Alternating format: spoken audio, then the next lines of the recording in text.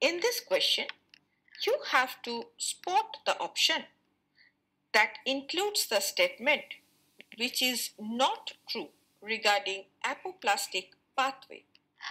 Option A, the movement does not involve crossing of cell membrane. Now this is true. Option B, the movement is aided by cytoplasmic streaming.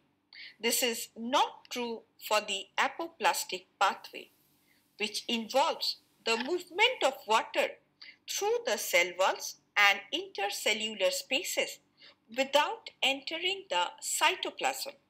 The cytoplasm streaming occurs in symplastic pathway where water moves through the cytoplasm and plasmodesmata and not in apoplastic pathway.